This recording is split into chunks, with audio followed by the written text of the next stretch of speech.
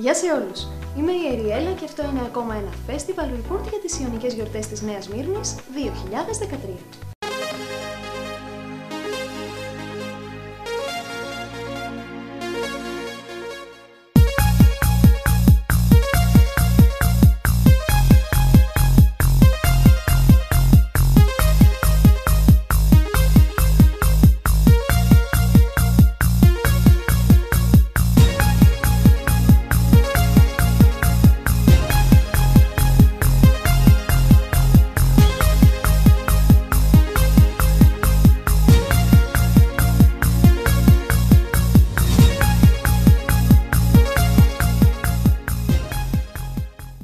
Την Παρασκευή 4 Οκτωβρίου παρουσιάζεται το σπίτι της Μπερνάντα Άλμπα, του Φεντερίκο Γκαρθία Λόρκα.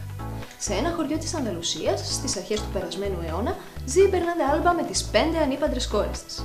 Η άποψή της για τη ζωή είναι βελόνα και κλωστή για τις γυναίκες, μουλάρι και καμτσίκι για τους άντρες.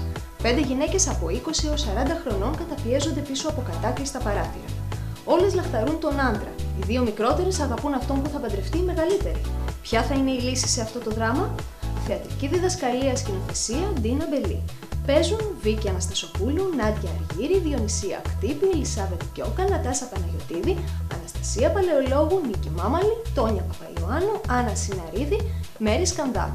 Είμαι η Εριέλα και αυτό είναι ακόμα ένα Festival Report για τις Ιωνικές Γιορτές της Νέας Μύρνης 2013.